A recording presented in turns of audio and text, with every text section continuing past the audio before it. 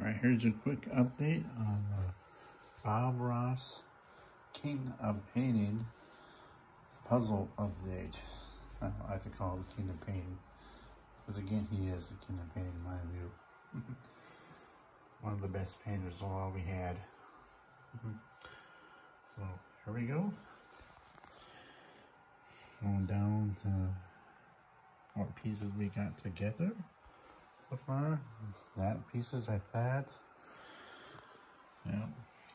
And they go this way and show you and all that.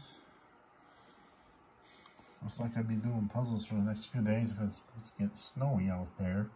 We might get 17 inches, so we'll see. Yes, winter's finally arrived here in Minnesota. We'll see if we get that much. I hope not, but winter likes to show up late here in Minnesota, that's for sure.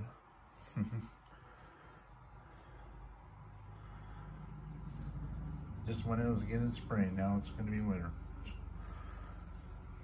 Oh well. That's what it's like up here in Minnesota. I'm always prepared. so you might be seeing some snow footage tomorrow, so stay tuned. if it gets bad, we'll see, I guess. Anyways, back to the puzzle. Here we go. I, was paying, I wasn't paying attention to the puzzle because I was talking about the weather more. That's okay. so, here we go. And this piece is like that. Turned over for some reason. Probably turn back over so the news over. Anyways, there you go. Pretty much. We got those to do in there. Yeah, see. Was on that straight.